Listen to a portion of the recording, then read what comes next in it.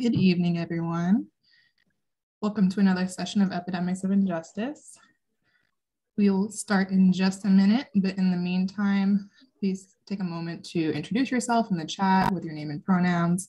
Please check in using either the link or the QR code. And as always, during the presentation, please feel free to put questions or comments in the chat. Those will be collected by our TAs throughout, um, but there will also be time for questions at the end. So feel free to keep them in your mind. And at the end, you can raise your hand and ask them as well. So you were muted upon login, so you're not able to unmute yourself or share your screen or anything. And if you are using a phone for audio, please just remember to mute your line. Um, but like I said, feel free to use the chat box um, throughout the presentation. As always, I am Zoe Harris and I'm joined by Wendy, Marjorie, and Nancy this evening. This course is um, sponsored by the Collaboratory for Health Justice here at UIC, and we encourage you to learn more about them and the great work that they do both here and in the community um, of Chicago. Please always to remember to listen with an open mind for this lecture and for all of our lectures.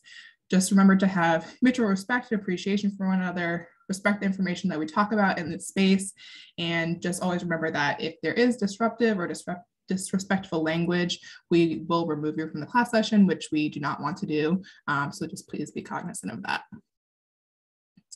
Today's lecture might have some material that's difficult to discuss. So if you need to step away, please take care of yourself during the presentation. It's always important to make sure that you know um, your boundaries and what makes you feel uncomfortable. And again, we always like to do our land acknowledgement. So the University of Chicago stands on the original homelands of the Miami Three Fires people, the Ojibwe, Odawa, and Potawatomi, who've been stewards of this land for generations, as Illinois is also home to a diverse Native community of more than 75,000 tribal members, and many of those live in the Chicago area.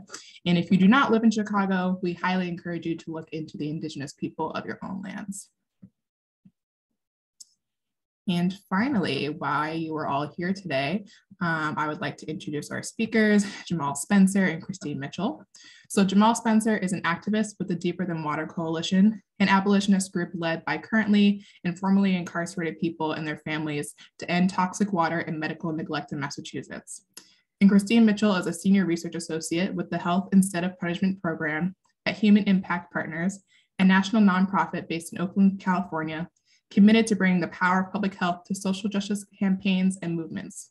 She's an organizer with the Boston based Deeper Than Water Coalition and a co author of the American Public Health Association policy statements on law enforcement, violence, and carceral systems. She has a Master of Divinity from Harvard Divinity School and a Doctor of Science in Social and Behavioral Health Sciences from Harvard T.H. Chan School of Public Health. So, round of applause for Jamal and Christine. Thanks, y'all. Um, so I'm going to start with just a um, sort of short-ish, um, 20 minute or so uh, intro to sort of the research on policing and incarceration and health um, and why abolition as a public health strategy um, should be something that we're talking about and moving towards in public health. Um, and then I'm going to turn it over to, to Jamal, who will share some of his experiences with y'all. Um, so I'm going to share my screen.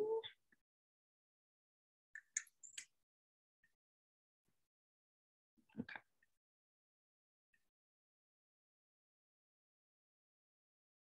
Great. Does that work? Everyone can see my screen?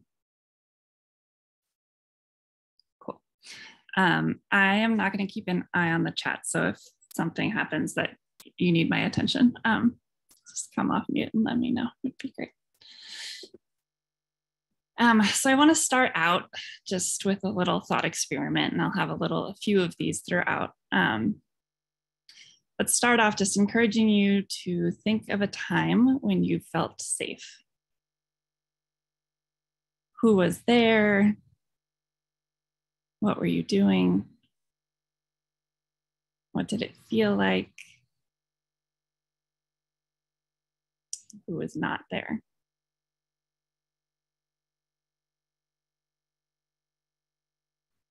Try to imagine it as vividly as you can. And then think to yourself, were the police there at the time when you felt safe? Most of the time, people will say no to that. Um, the idea being that um, policing uh, is not equivalent to safety, even though that is um, often the dominant narrative. Um, so I want to start too just by um, acknowledging the moment we're in, acknowledging um, that we continue to be in the middle of a pandemic that is wreaking havoc in carceral settings, that is spreading rampantly. Um, we are not decarcerating uh, fast enough or as many people as we need to be. Um, police are still killing people every day. Um, and I want to echo what Zoe said earlier that some of these topics are going to be challenging to hear. And if you need to step away, please do that. Um, I also want to acknowledge too that many of you in the room um, might have lived experience with this. Um, and those who have lived experience don't need statistics or a slide deck or a professional organization to tell you that policing and incarceration are harmful to health. Um, I'm going to just provide some of that data today, um, but keeping in mind that uh, we need to trust the experiences um, of people who have who have been harmed by policing and incarceration first, beyond else. Let's start talking about policing. Um, so the historical context of inequities in policing, um, US policing evolved from ruling class efforts to control um, the immigrant working class in the North, and efforts to control Black people um, with slave patrols in the South. So policing really um, arose from uh, a place of oppression and social control. Um, in the late 1960s and 1970s, um, the war on drugs, tough on crime policies, all arose as a way to maintain that social control, um, especially over Black and Brown people. And then paired with the increased militarization of police, um, we see them now with tanks and helicopters, um, all sorts of weapons, and protections from accountability um, that we see often they are not held accountable for doing harm um, the system of policing functions to perpetuate racism um, and to protect the interests of, uh, of white people, wealthy people, um, the ruling class in the criminal legal system. So just some, some data on the scope of the problem of police killings, police violence. Um, so according to data collected by the Washington Post, which they've been collecting data since 2015, um, around a thousand people are killed by police every year on average. So that's about three people per day. Um, one thing to keep in mind too is that um, getting data on police and policing is very challenging. It often comes directly from police, um, which means that there is inherent bias built right into it. Um, and often some of our best data on policing and police violence just comes from crowdsourcing, um, comes from uh, you know, people gathering data from experiences in their local context, from uh, news stories, um, and pulling that together. Um, so in 2016, um, Black and Indigenous people were over two and three times, respectively, more, time, more likely to be killed by law enforcement than white people. And whenever we talk about this, um, I like to emphasize that that is because of the racism that is inherent in policing. Um, it is not because of any sort of um, inherent criminality um, of uh, Black or Indigenous people. It is because um, law enforcement policies and practices are founded in racism. And so we see that play out, right? And so this is um, a study that looked at the 50 largest police departments in the US um, of the 4,400 people shot by police in those police departments in a six year span from 2010 to 2016, 55% were Black, um, which is more than double the proportion of the Black population in these departments' jurisdictions. So we can see from that data exactly what the history of policing is, right? So policing is doing exactly what it was established to do, um, which is uphold whiteness and white supremacy and wealth. Um, so often when we think of policing, we think of the harms of policing on health, we think of police violence um, and police killings.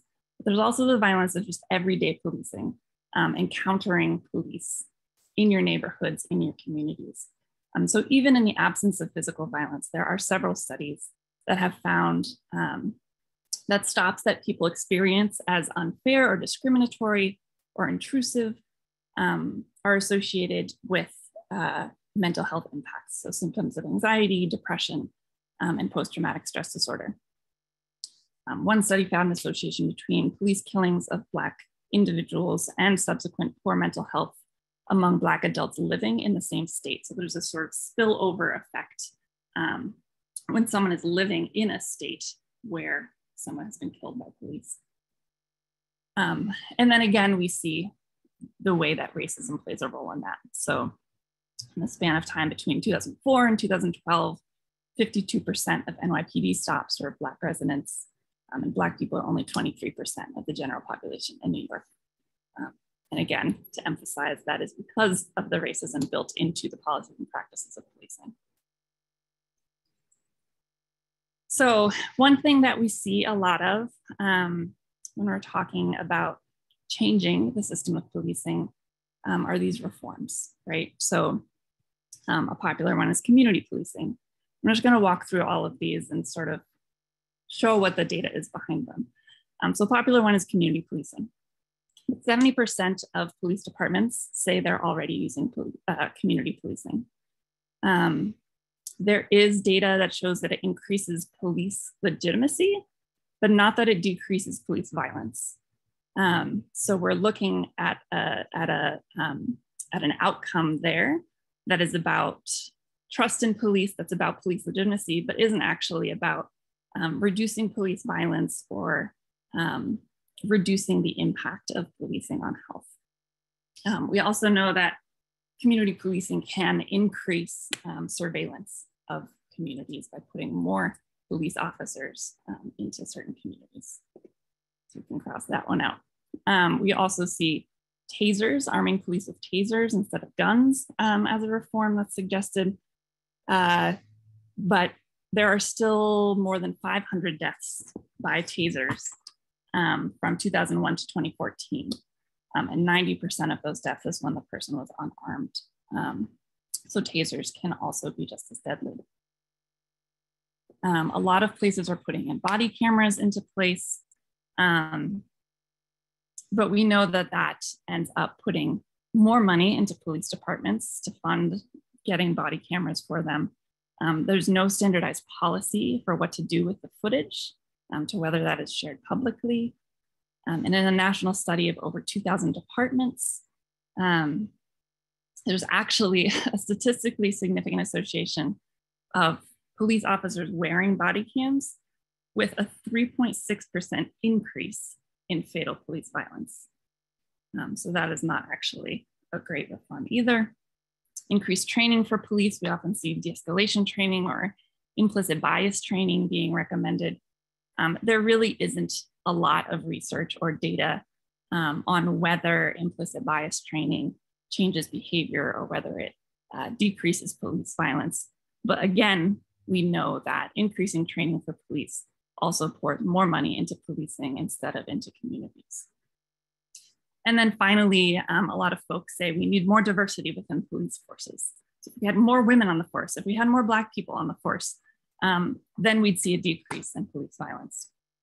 Uh, but there are several studies that sort of debunk that. Um, one study found that there's little effect of having increased diversity on police forces. Um, and in fact, that uh, as the ratio of Black officers rose in a department up to a threshold of 25%, um, the number of fatal encounters between police and Black residents actually increased.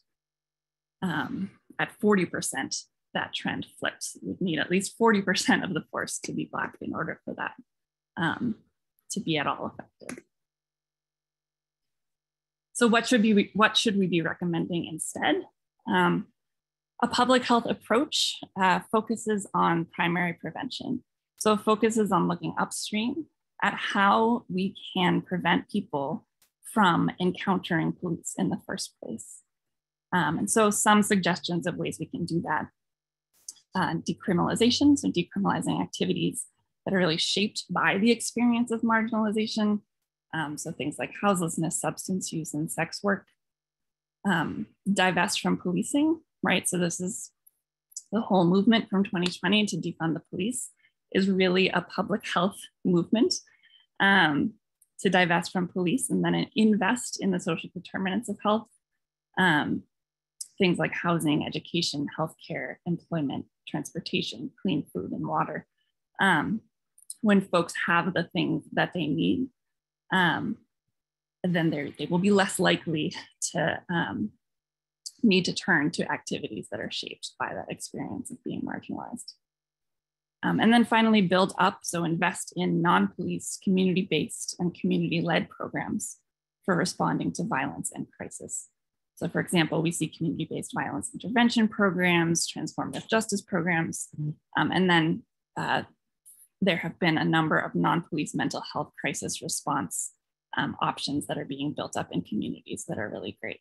I like to point to um, MH First, which is in Oakland and Sacramento, California, um, which is completely non-police. So is not filtered through a police hotline, is not funded by the police, um, doesn't touch the police at all, has their own separate line, um, their own separate funding source, as opposed to a model like Cahoots, which um, Cahoots is actually like a nod to the fact that they're in cahoots with the police. Um, they are funded by the police and they are, they are sometimes a um, co-response model. So Cahoots is definitely a step up from having police respond to mental health crisis, but we can go further still. Um, and now shifting to talk about incarceration a little bit. Um, just to take another minute um, to breathe as we move out of, um, out of that section and into a very related one about incarceration.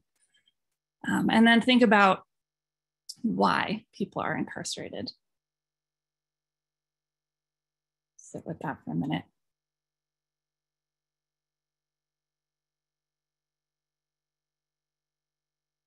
So we see very similar patterns play out in incarceration.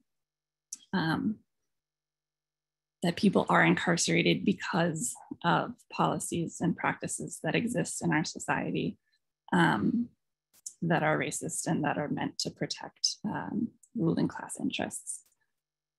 And it starts from a very young age, right? So it starts with school, starts with school punishment. Um, so, for example, in schools, we see zero tolerance policies, um, and that's based on broken windows policing theory. Um, it sets sort of this predetermined punishment um, for students for specific rule infractions, regardless of the situational circumstance that might have led um, to a student doing something that is that is termed a rule infraction.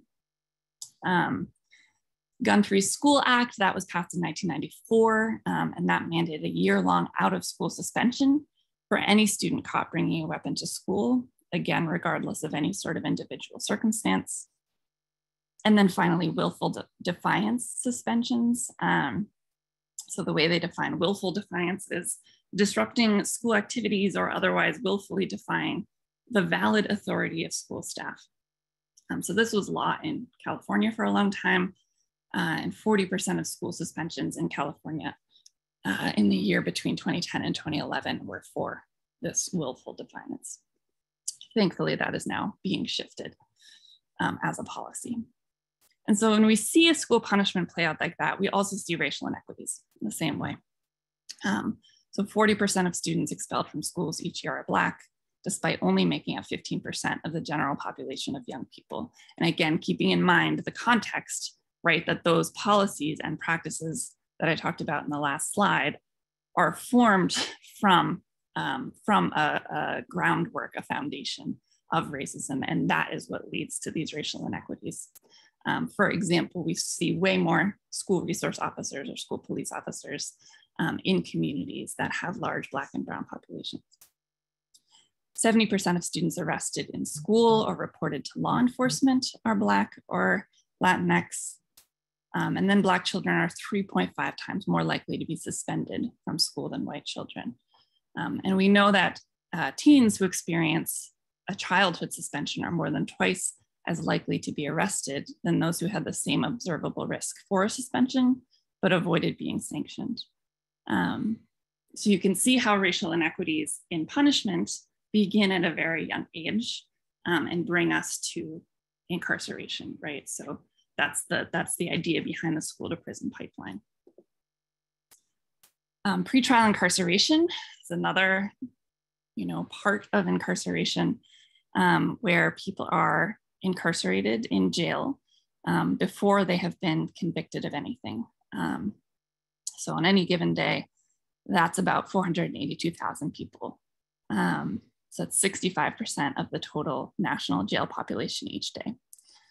90% um, of people who are incarcerated pretrial are there because they can't afford bail for no other reason than they just can't afford um, to bail themselves out of jail. Uh, and we know that jail populations have more than tripled since the 1980s. And 99% of that growth is because of pretrial incarceration. So the impacts of incarceration on health, um, that sort of sets the scope of the problem. Now talking about how it impacts health. Um, this photo um, is a photo of a makeshift filter um, that someone in Massachusetts sent us um, the Deeper Than Water Coalition, which Jamal and I can talk more about, um, that they used to filter out the water in the prison. Um, just held it over the top. This was a white white T-shirt. Um, this is this is how the Deeper Than Water Coalition came to exist. Um, as we learned about the toxic water in Massachusetts, um, and then you know, the reason we call ourselves deeper than water is because the, the problems of incarceration go so far beyond water. Um, but even that very sort of basic uh, human need and human right uh, is also denied. Um, and that's not just in Massachusetts, that's, that is a national problem. Um, so some of the conditions inside, um, beyond the water, that also harm health. Um, there's poor ventilation, we see major problems with that with COVID. Um, it's part of the reason, one of many, uh, that has led to um, widespread uh, infectious disease, including COVID right now. Um, extreme temperatures, so extreme heat in the summers, extreme cold in the winters, black mold, poor plumbing infrastructure, um, the toxic water, lack of nutritious food, um, uh, infectious disease, and then sort of the, the both mental and physical impacts of the isolation and stigmatization of being incarcerated, of being separated um, from folks' communities and loved ones, um, and then the neglect, abuse, and physical violence that happens um, behind prison walls. Um, so how do we see this playing out? So when compared to non-incarcerated people, people who are incarcerated have a higher prevalence a whole bunch of things. Um, so including HIV, other infectious diseases, um, mental health diagnoses, hypertension, health, heart-related problems, diabetes, asthma, stroke, um, and overall lower life expectancy. And so again, that is because of um, the health harms of incarceration itself, the way that health is neglected um, inside, and then also all of the sort of social determinants of health um, that might might lead a person to being policed, to being criminalized, and to being incarcerated. Um, all of those things can also harm health. Um, each year of incarceration in prison takes two years off of an individual's life expectancy. Um, and then to, to ground this in COVID into right now, early estimates um, suggested that the case rates of COVID in US prisons was at least 5.5 times higher than the general US population. And so again, to, to do something similar um, with the policing, some of the common opposing arguments or common reforms that are suggested to incarceration. Um, one is building nicer or trauma-informed jails. Um, so often people point to Norway, jails and prisons in Norway, um, as something to strive towards, as something that the US should, should aim to um, make our prisons more like. Um, but the actual data and research on prisons in Norway um, is that folks coming out have high suicide rates, that there's high reported dissatisfaction with healthcare um, from folks who are incarcerated in Norway, um, that a quarter of the people who are incarcerated in Norway are confined to just their cell for more than 16 hours a day, um, which is approaching uh, UN standards for torture. Uh, and so the idea of punishment, punitive practices um, persists uh, even in prisons that are considered you know, trauma informed. Um, electronic monitoring, the use of electronic monitoring rather than having people incarcerated in prisons is really just an extension um, of carceral settings into people's own homes and communities. Um, so there's a 2011 survey from the National Institute of Justice um, that surveyed folks who were being electronically monitored, found that 22% of people who were on electronic monitoring were fired from their jobs. And we know that job loss is associated um, with all kinds of negative health consequences. Um, and then there was a survey of immigrants who were being electronically monitored um, done in the last few years. 90% uh, of those folks reported that electronic monitoring harmed their physical health, and 88% reported that it harmed their mental health. Um, uh, another is that decarceration is not fair to survivors, right? So when someone has survived um, violence or harm, um, how do we get justice and accountability, right? And so the idea that punishment is um, equivalent to or correlated with justice and accountability is something that we need to challenge and problematize. And part of that is by listening to survivors, right? And so um, uh, research that has been done in speaking to survivors and trying to capture their experiences and their desires, um, the, an overwhelming majority of survivors uh, prefer some form of accountability that happens outside of the carceral system. Um, and often that is uh, um, uh, the, the carceral system, the criminal legal system is also harmful to survivors by putting them through um, going through the court system. And of course, um, survivors are not a monolith, right? Um, people desire different things in response to the harm that they faced. Um, but I think the important point here to take away is that we really need to listen to what survivors are asking for.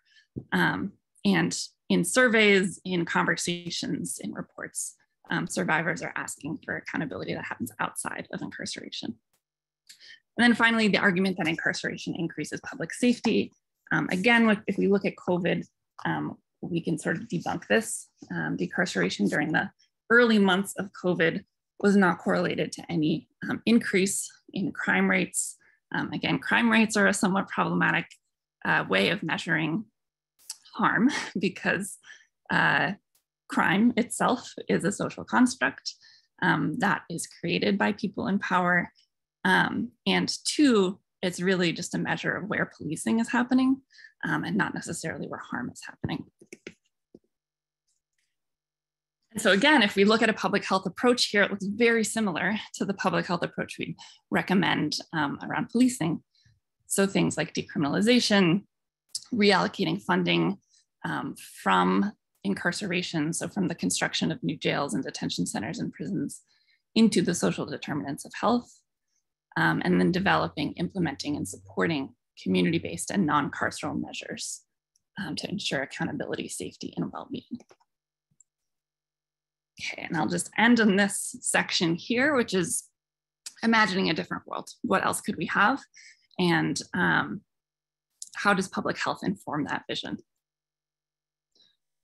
So another minute um, just to take a breath and think. Um, think of a time when you've been held accountable for harm you've done by someone that you love.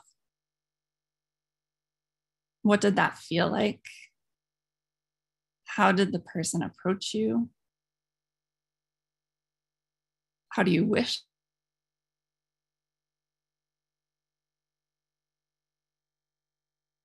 how did it feel to be accountable?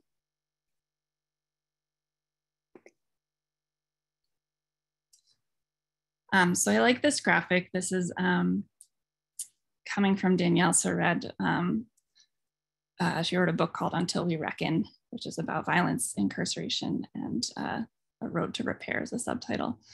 Um, and so she draws this distinction between accountability and punishment. So I think it's important that we realize that accountability is not equivalent to punishment right? And so the differences are here. So accountability is something you choose to do. You choose to do. Punishment is imposed by others with power over you. Um, accountability recognizes and requires your power, including your power to enact repair. Punishment aims to diminish or contain your power, which it presumes can only be harmful.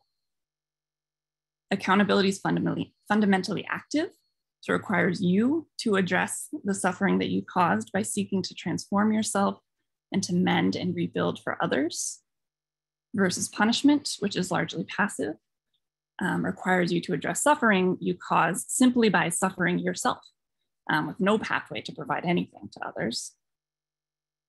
Accountability deepens relationship and connection, punishment severs it. Accountability fosters healing and restoration, both of yourself, um, of the person who's experienced harm, and of your relationship. Punishment fosters shame and isolation. Um, and so accountability here, um, there's evidence base for, for uh, this as a form of accountability. Um, we certainly always need more, um, but uh, when we talk about accountability that happens outside of punishment, um, often we're talking about restorative and transformative justice, um, so non-punitive, non-retributive processes um, that address interpersonal harm by bringing together the people who are involved to decide together how to heal and repair that harm. Um, and then transformative justice building upon that by not just focusing on the individuals and the individual relationship and the harm that happens at the individual level, but also on the larger systems and the structures that created the conditions for that harm to occur. Um, investing in communities is an important strategy um, in a world that we want. Uh, Ruth Wilson Gilmore, who's a abolitionist scholar and an educator, says abolition is about presence, not absence. It's about building life affirming institutions. So, so often um, when people think about abolition, they think it's just like, uh, you know, we get rid of prisons and we get rid of police and there's nothing in its place, right?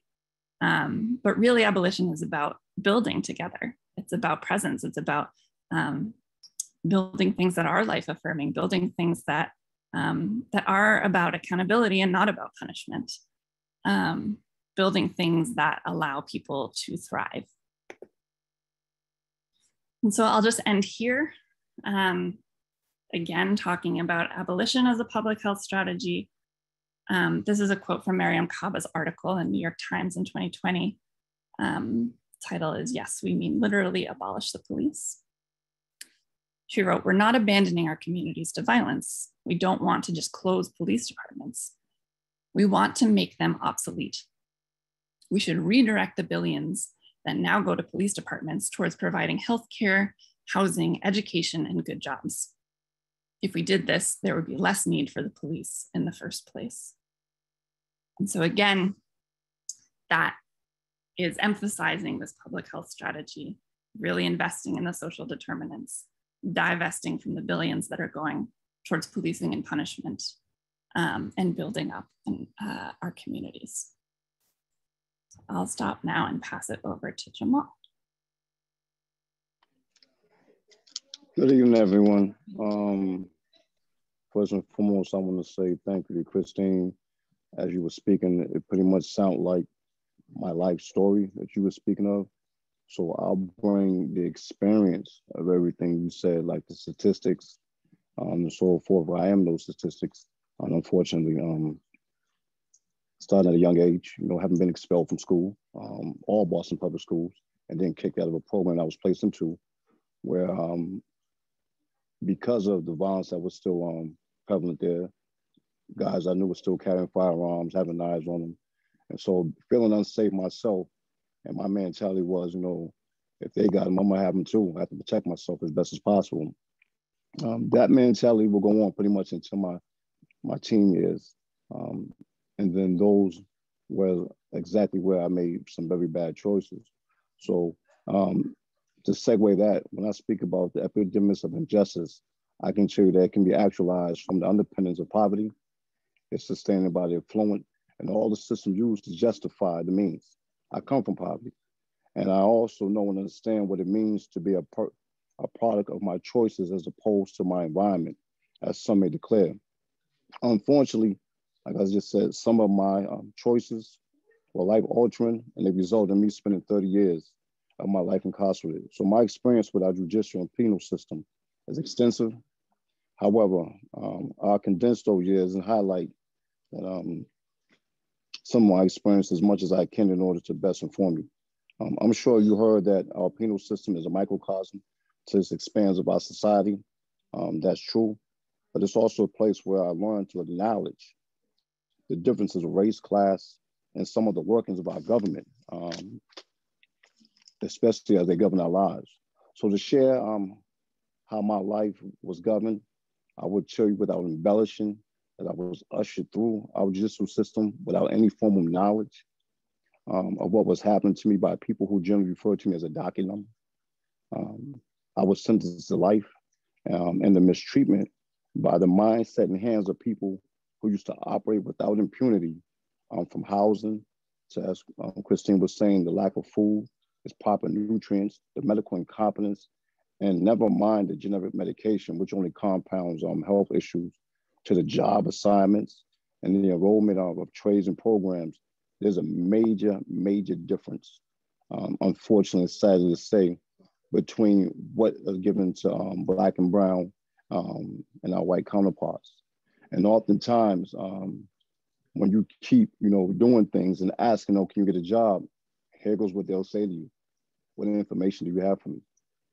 And like, what? What information do we have for you? I need a job. That's information.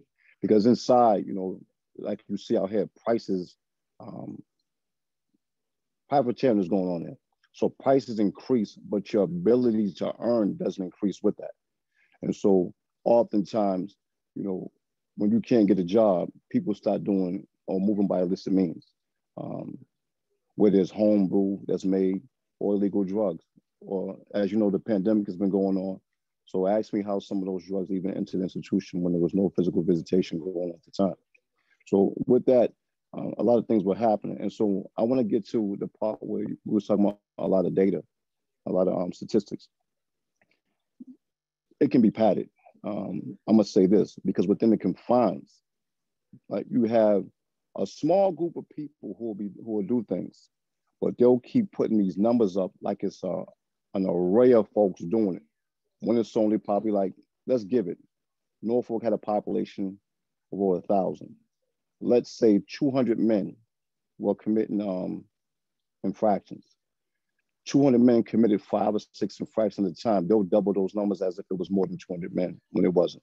And that's that's giving it lightly. Um, so when it comes to the programming that they had as far as the combat that, the programming, which I know is the CRA, um, Correctional Recovery Academy, that's where most of the infractions was taking place. So something put in place to combat addiction, something put in place to combat so-called um, reduction of violence. That's where most of it was taking place within these programs. But they really wouldn't do too much because they didn't want that shut down. So when you can operate with impunity because there's no accountability, as I'm being I'm hearing being spoken today, there's no cameras and who can control the narrative, but those who are um, the powers that be. So when you can do these things and answer really to no one, the public is left with the bill. And I often tell people to follow the money if you can. But how is that possible when what they'll say is what we call protests on the streets, they'll call a riot in prison. And when you can put those words on things such as riot, anything that's I'm subjected to, they'll say that I'm one of the worst of the worst or we're dealing with the worst of the worst. And that allows you to turn the other way. Or you're saying, okay, they're locked up for this or they're locked up for that. So they deserve what's coming to them. I get that, um, especially I'll say for the uninitiated. I've had the, um, the privilege, oftentimes, like I said, I spent 30 years in incarceration. I finally was released in September 30th, right? Um, after going to my parole board and speaking to the parole board about, and how about they really was asking me about the civil unrest that was going on in the streets, opposed to the things that was taking place with my crime. Um, and I told them I, I, didn't grow up trusting the police. Um, I used to see the police, and maybe I didn't even do anything. But if my friends started running, I started running because, like I said, the mistrust. But I finally told them um, why I carry firearms, um, why I never would call the police. Why um, that's just not things I did. Aside the fact that you know when they came around, it wasn't to really assess what happened. It was to get with everybody out there first and foremost, even if it came to head cracking. And so when I look at that, that's the same thing that was taking place inside the, the um, prison walls in that setting.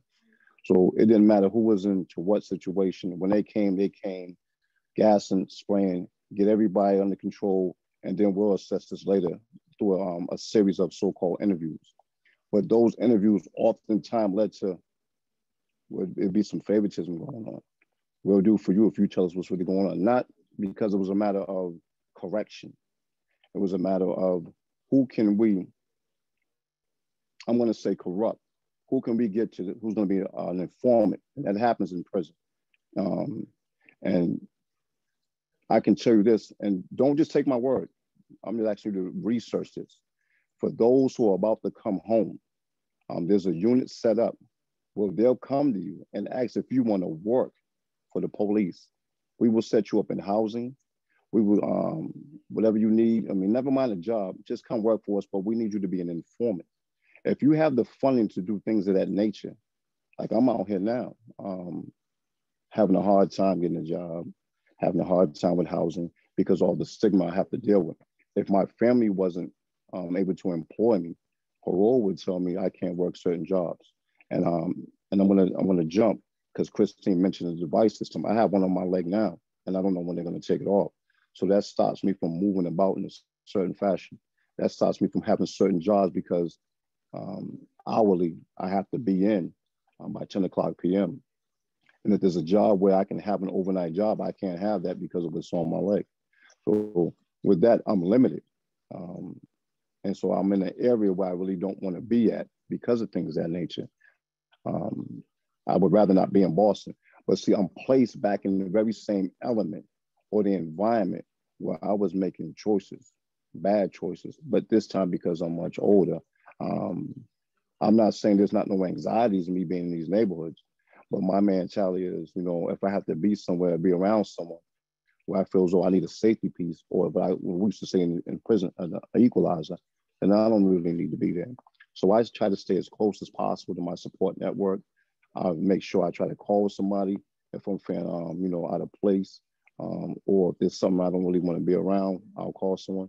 But these are because of, you know, the things I had to go through um, from being away for so long and the mindset in which I had to adopt thinking it was survival of the fittest. So when I'm talking about housing, uh, I'm gonna go back to that for a minute. Housing institutions, you, usually go um, where they assign you, even if it's an environment where, as you know, um, you're not supposed to be in it. For years, years, I was placed inside of um, what they call Plymouth blocks. Plymouth block was 24 hours, 23 hour lockup. Certain days we can come out for an hour. You can choose, you know, to exercise. You can choose to take a shower. You can choose when to get on the phone, but you better do that within that hour.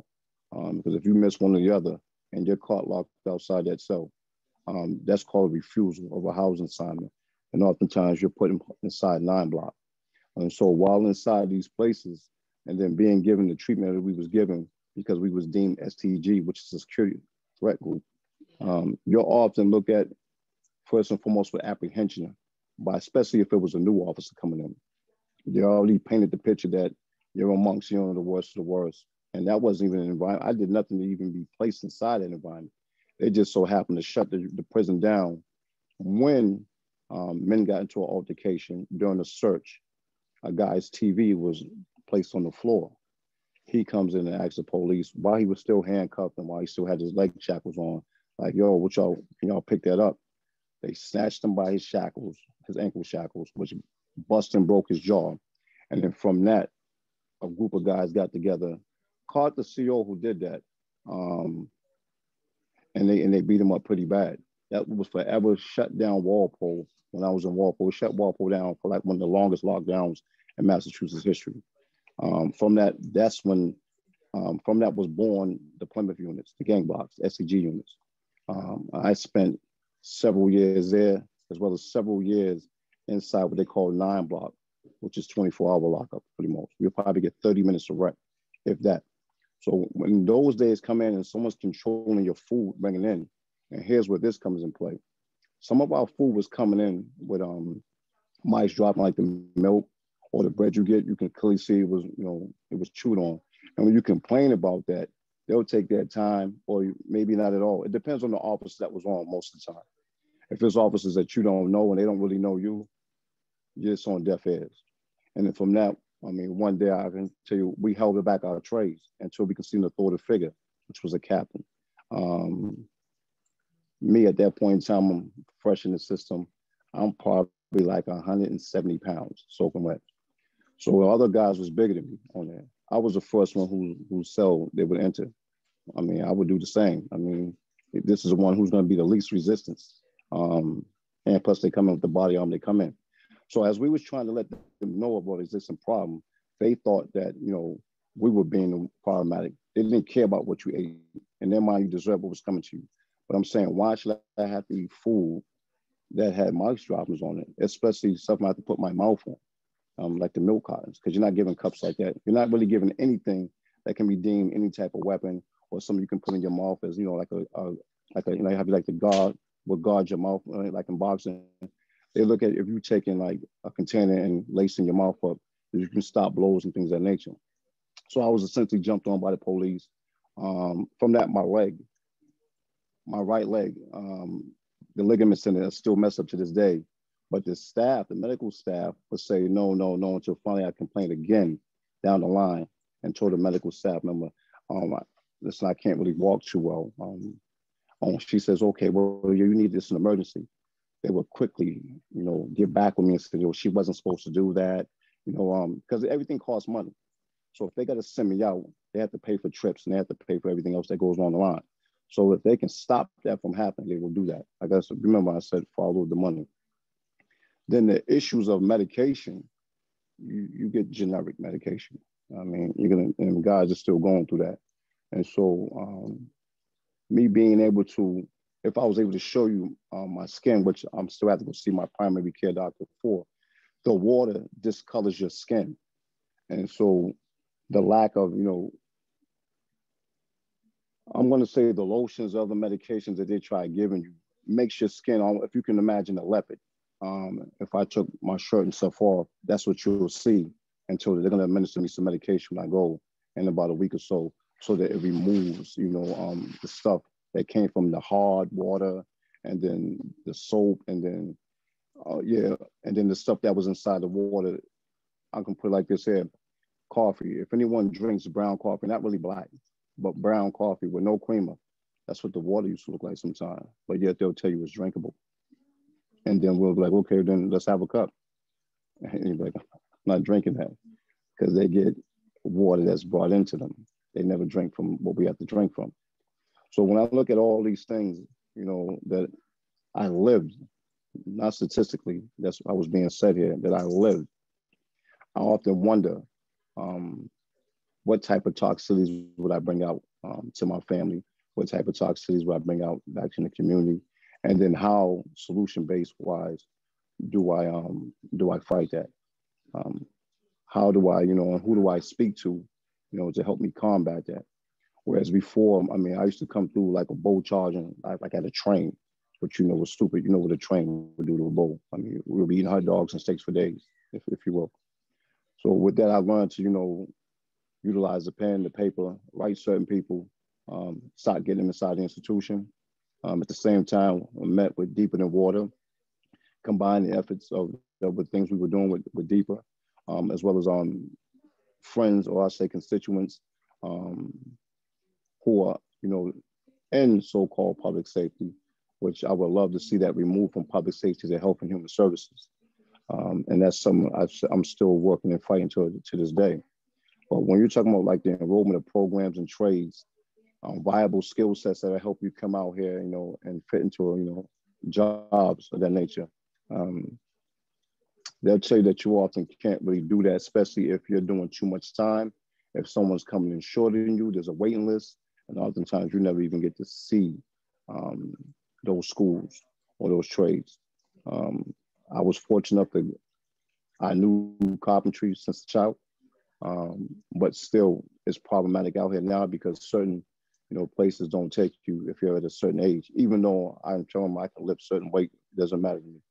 Um, but like I said, there's a major difference, a major difference. Whereas your job assignments, um, and that's something, and I don't really like to speak about, I heard everybody keep speaking about um, today, but if you're feeling uncomfortable, like to step away. I want to say that if there is something, and I want to say it's uncomfortability, if there is something that's tugging at your heart, if there is something that you're feeling in the pit of your stomach, um, I would ask that you get comfortable being uncomfortable.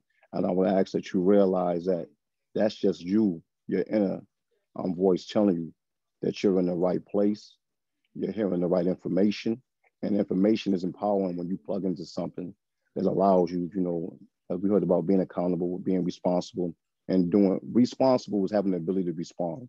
That's just short, um, the way I put it. And so when you can do that and you can handle things that nature, um, speak up, you know, stand on your demonstration. I'm not saying, you know, um, you know, lose um, your, your livelihood or lose your lot in life, but in your positioning and the lives that you're about to um, embark on, your say is more powerful than mine could ever be. Um, unfortunately, I, I see it like that, even though I'm gonna still keep striving. I'm gonna still keep, you know, um, doing what I do because I'll tell you at my last parole hearing, I've, I've never had opposition. And I'll tell you, opposition means anyone opposing me from the family or anything of that nature. This time, I thought I had opposition. However, and I don't like to say the victim, the impacted party was speaking to me directly. And parole board, the parole board kept telling um, this woman that she could not speak to me directly, although you would call her to have uh, oppose me from coming home. She says, no, I need Jamal to hear me because Jamal um, is someone who I know was very influential out in the city of Boston. He was out um, in the wrong way. These young kids was looking up to him, doing the wrong thing, and I and that was very true. Um, I was someone who can tell people to do things that was that was stupid and contrary to their life. So today I use that influence um, for the greater good um, for them to better themselves. And by her saying what she said to me, um, that was the most impactful hearing I ever had, um, even though they shut her down. But when she did get to speak to me, um, it's, it's, making me go, um, it's a term go even harder. Um, it's what, you know, what had me come speak with you today to let you know that, you know, as someone who could have said, lock him up, throw away the key, oh, he took this from me, he took that from me. She says, no, um, he's someone we do need out here. Um, he's someone who can make a difference, not he makes a difference. And that's why, for me, being accountable, being responsible, and standing on my demonstration means the world to me. Um, I don't know how much time I got left. Um, as far as you know, to live, I can tell you, I can count how many years I got behind me. 30 years in prison, and I'm 50. I mean, that tells you, I mean, um, what I've been doing with my life. Um, it wasn't always about me and me being intellectual or, or using utilizing my common sense in prison um, because I went in young, so I felt as though I had to be a certain way there. Um, and then even when people kept, you know, adding more trauma, especially once White Dean was supposed to be my custodian, um, I could have came out here hateful. I could have came out here saying, I mean, never mind all this, you know, this positivity. I could have came out with a chip on my shoulder, even disguised, you know, um, as a sheep in wolf's clothing, right? I would say I was a wolf in sheep's clothing, excuse me. But my thing was, how do I really make a difference in the lives? And it doesn't really matter if I if if I really get myself together. Um, if anyone can remember Hogan's Heroes, they fought a war from behind enemy lines just to make sure that you know um, they they they was committed to the greater good of winning um, the war. So that's how I look at how I'm I'm to be, you know, fighting behind enemy lines. And so when Deeper Than Water came to me, I, and Jamal, you worry about getting in trouble? I said, in trouble. I'm already in trouble. We're not doing this. What are we gonna do? Let's do it. And so it's still it's still a force that I'm I'm I'm, gauged to move with. I don't calculate too much except how to stay out here, how to be better, how to make um, those around me um, better. Um, which is why I mean, speaking to you, you have such, you know, um, abilities to change the world. I hope you would do that. Um, and I know when I when we talk about when we talk about punishment, um, yeah, when we talk about punishment, I think it's just like the sim. It's similar to like when growing up, being exposed. You know, um, I love my mother to but when I when being exposed how I was disciplined, and again, if I showed you my leg and how it was split open, um, they used to have these belts. They had like these little, like these almost like how you know, like you know, the punk rockers had the spikes and stuff. My mother tore me up with one of those I had to go to the hospital. And so, but I looked at that like I, I can't really remember because I was too young, but I still I see the scars, um, and I still remember. I don't know what happened to her. I don't know what happened to anything else other than that. But coming in prison, going through the things I do, and I know these people ain't to love me at all, and so the trauma of what I went through in prison far outweighed what I went through in my household. Far outweighed the addictions that I witnessed in my my household. It far outweighed even I give you a, when I saw I lived at 140 Geneva Ave in Dorchester. Gunmen coming to my house because my father was drug dealer. Shot my uncle with a shotgun, right? And threatened to come in our room and me and my brother and sister's room and do harmless unless he gave up his entire stash, which he did. It far outweighed that. And I remember all that like it was yesterday. And so to see the people who were saying they were correcting me, you know, I'm about to come through a rehabilitative process I can tell you it doesn't take 15, 20 years or life when you're saying you have a program that works to rehabilitate somebody. If you're invested with money and all these nations, yet you have men who are still serving life and dying, um, especially under systems that are not there to help but to harm further. And so, and then still, these very some of these very same men, I'll have to say some, some of these very same men wish they can be out here making a difference and a change out in the world. Wish they can be with their families, their loved ones, their wives, their mothers, their girlfriend, their children. Wish they can come out here and sit and have the conversation that I'm having with you.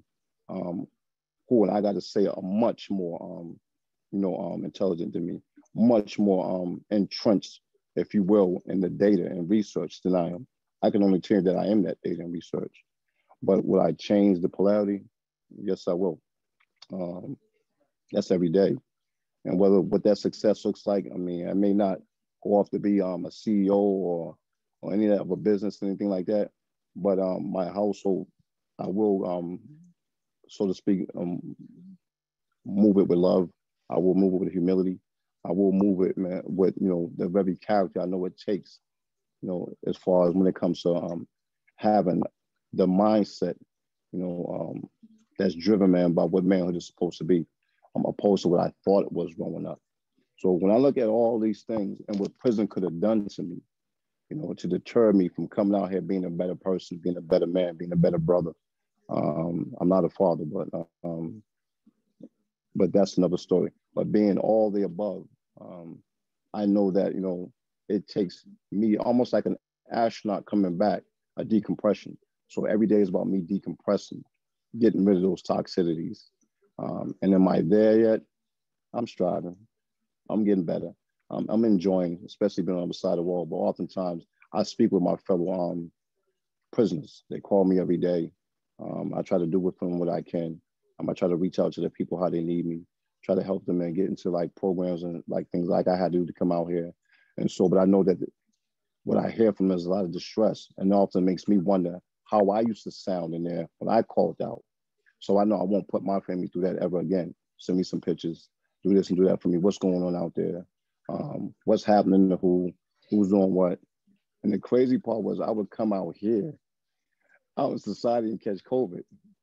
When I used to lock myself in a in a cell, put up a, a board, tell people don't come to my cell because I don't want to talk to you.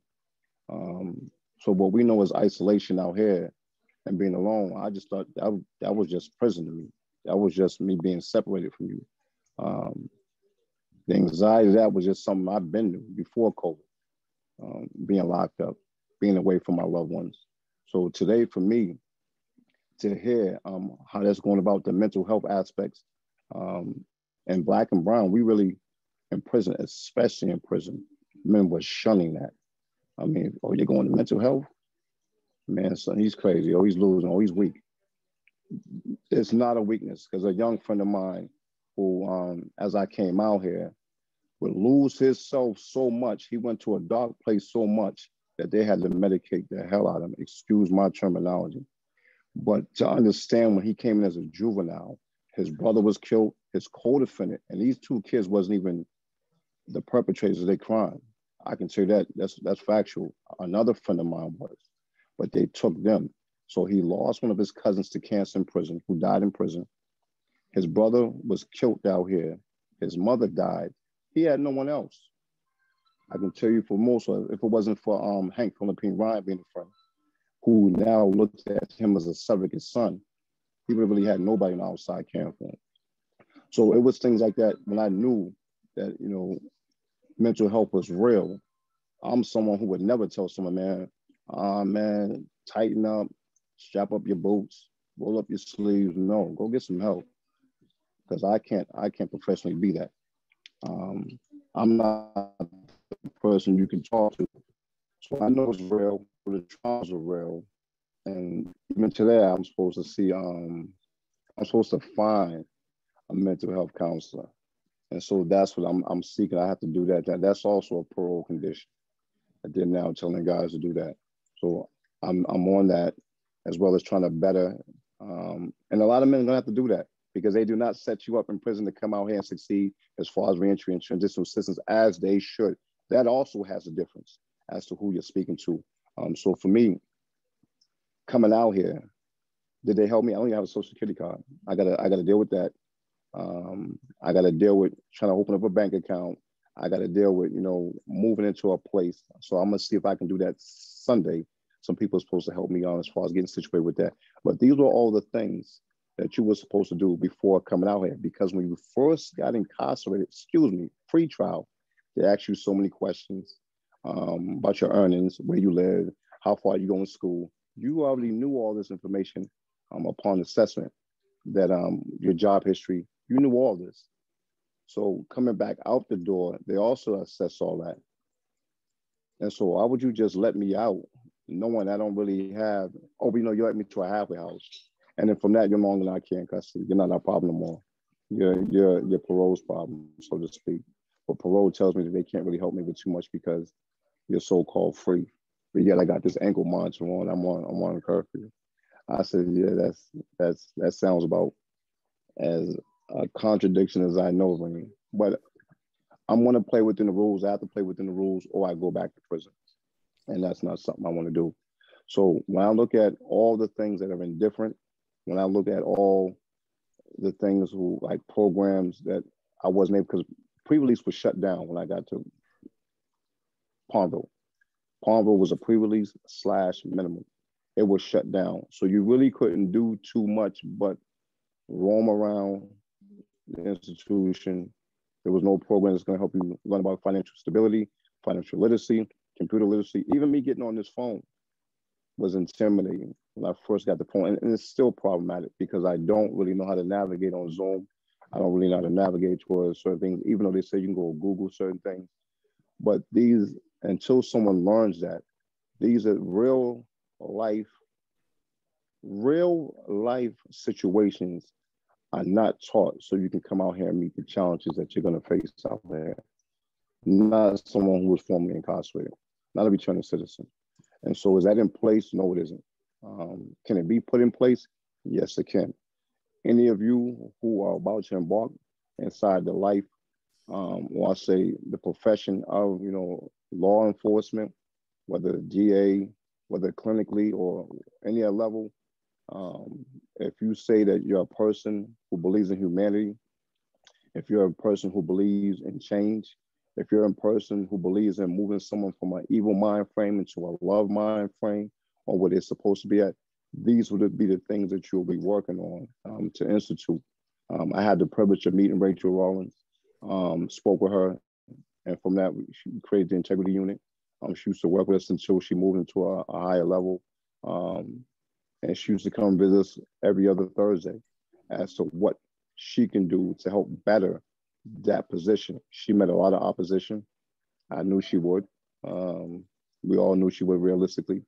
But for her to even take the time to come consider what we had to say spoke volumes to me. Um, U.S. senators do the same thing. They used to do the same thing. U.S. not state senators, not well, state reps. I hate to cut you off, but we mm-hmm. are running short on time. Um, mm-hmm. I, I want to ask um, at least one question. So um, again, I don't want to cut you off, but if you could wrap up, then we would really appreciate that. Then we were wrapping on the fact that you know there are major differences, but we can also make a difference by standing on demonstration. And with that, I will close on that. Thank you. All right. Thank you so much, Christine and Jamal.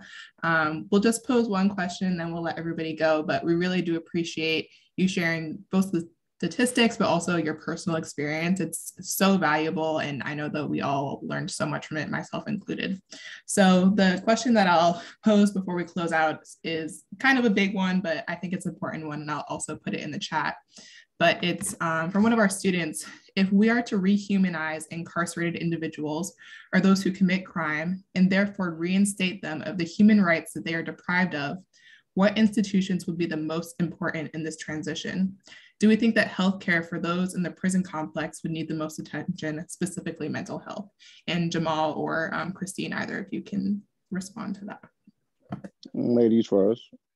Christine. I want to hear from you first.